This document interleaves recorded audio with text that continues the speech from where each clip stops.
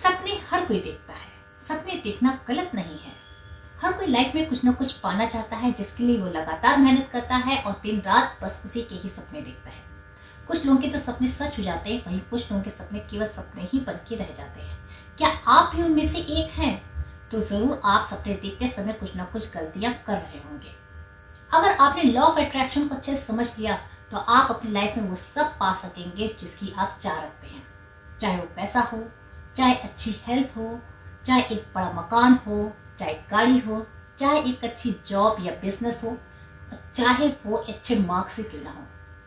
आज के वीडियो में आप लॉ ऑफ़ अट्रैक्शन को अच्छे से जानेंगे और जानेंगे कि लॉ ऑफ़ अट्रैक्शन को आप अपनी लाइफ में कैसे यूज़ करें ताकि आपके सपने सच हो सके। वीडियो शुरू करने से पहले मैं आपको एक बात बताना चाहती हूँ। अगर आप साइंस में जरा भी इंटरेस्ट लेते हैं, या आप लॉजिकल रीजनिंग थिंकिंग रखते हैं तो आपको मेरे चैनल पे एक इंटरेस्टिंग फैक्ट्स नाम का प्लेलिस्ट मिलेगा, जिसमें साइंस से रिलेटेड कई इंटरेस्टिंग वीडियोस आपको मिलेंगे। प्लीज़ उन्हें भी देख लीजिएगा और पसंद आने पे लाइक भी ज़रूर कर दीजिएगा। चलिए अब शुरू करते हैं आज का वीडियो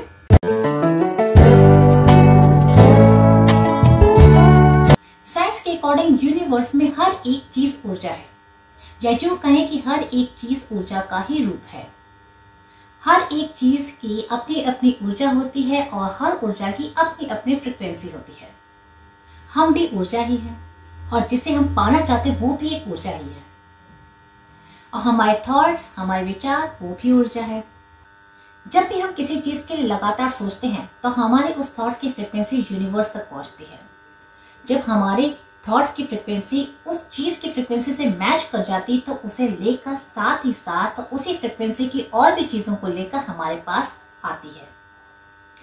जब भी हम किसी चीज़ के लिए फोकस होकर सोचते हैं तो हमें वो चीज़ मिल जाती है। जिस चीज़ पे हम फोकस करते हैं, वही हम पाते हैं।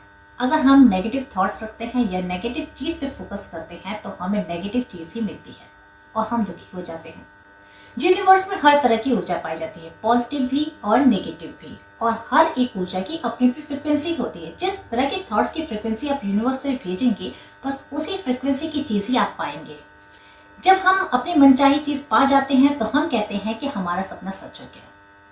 पर कुछ लोगों का सोचना होता है कि ये कुछ लकी लोगों के साथ होता है या कुछ स्पेशल लोगों के ही साथ होता है। और ये सोच गलत है। ये हर एक के साथ हो सकता है। यानी कि हर एक का सपना सच हो सकता है। लॉ ऑफ़ अट्रैक्शन हमारे थॉट से रिलेटेड है। ये नियम ये बताता है कि कोई भी चीज़ अपनी जैसी ही चीज़ को अपनी ओर अट्रैक्ट करती है। ये लॉ हर एक चीज़ पे अप्लाई होता है, जैसे कि ग्रेविटेशनल फोर्स चलिए अब जानते हैं कि लॉ ऑफ़ अट्रैक्शन को हम कैसे यूज़ करें। अपने थॉट की फ्रिक्वेंसी को अपने मन चाही चीज़ की फ्रिक्वेंसी से कैसे मैच कराएँ। सबसे पहले तो समझ लीजिए कि इसमें करना क्या होता है। इसमें अपने थॉट्स की फ्रिक्वेंसी को अपनी मन चाही चीज़ के फ्रिक्वेंसी से मैच करानी होती है। ये ठीक वैसे ही होता है जैसे कि रेडियो को हम एक पर्टिकुलर फ्रिक्वेंसी पे ट्यून करके अपने मन पसंद प्रोग्राम को सुनते हैं। सबसे पहले जिस चीज़ की आप चाह रखते हैं, उसके प्रति आपके मन में स्ट्रॉन्ग डिज़ायर होनी चाहिए। ये जितनी स्ट्रॉन्ग होगी लॉ ऑफ़ अट्रैक्शन उतने अच्छे से काम करेगा। यूनिवर्स से आपको क्लियर और पॉजिटिव शब्दों में कोई चीज़ मांगनी है। या उसे कहना है कि वो चीज़ आपको ला कर दे। यूनिवर्स आपके शब्दों पे काम करता है। आपको जरा भी नेगेटिव वर्ड का यूज़ नहीं करना है। इसके बाद एक पेपर पे आप प्रेजेंट टेंस में लिखें। जैसे कि वो चीज़ आपको मिल गई है, आप उस चीज़ को एंजॉय कर रहे हैं, पूरी फीलिंग्स के साथ आपको लिखना है प्रेजेंट टेंस में। और फिर उसे कई बार दिन में दोहराना भी है।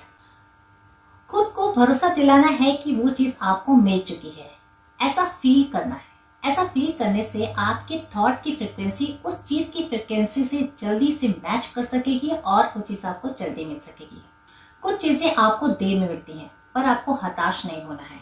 आपको अपने फीलिंग को स्ट्रॉन्ग बनाए रखना है। अपने पॉजिटिव थॉट्स को नेगेटिव थॉट्स में चेंज नहीं होने देना है, वरना वो चीज़ आपको कभी नहीं मिल सकेगी। लॉ ऑफ़ अट्रैक्शन कैसे काम करता है, ये तो आपने जान दिया पर लॉ ऑफ़ अट्रैक्शन को इस्तेमाल करते वक्त कौन सी सावधानियाँ बरतनी चाहिए? चलिए वो भी जान लेते हैं। लॉ ऑफ़ अट्रैक्शन तभी काम करेगा जब आप उस चीज़ के लिए मेहनत करेंगे, यानी कि एक्शन लेंगे। वो भी पूरे विश्वास के साथ, बिना किसी डाउट के। बस उसी चीज़ की ही चाह रखें जिस चीज़ को पाने के आप लायक हो, वरना आप इंतज़ार ही करते रह जाएँगे। यूनिवर्स अच्छी और बुरी चीज़ में फ़र्क करना नहीं जानता है। उसे तो बस फ्रिक्वेंसी से मतलब होती है।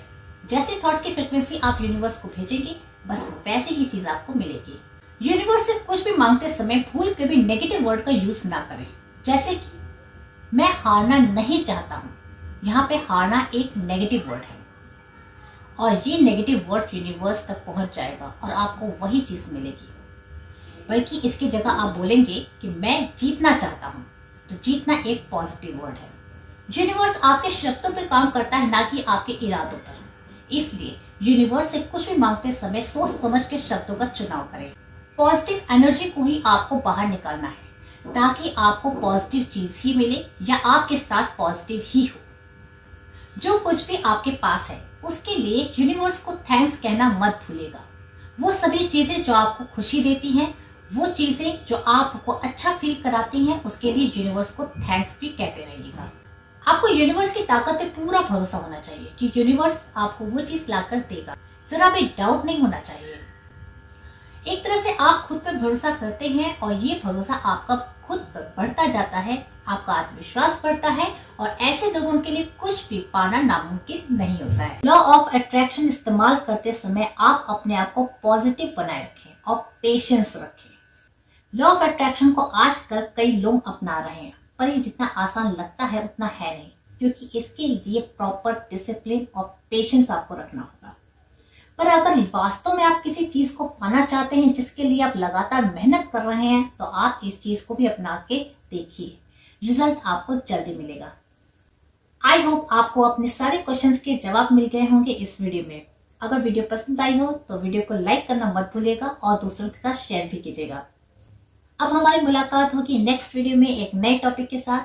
तब तक आप मेरे बाकी की वीडियोस देखते रहिएगा। इस वीडियो के एंड में आपको उन वीडियोस के लिंक मिल जाएँगे। Thank you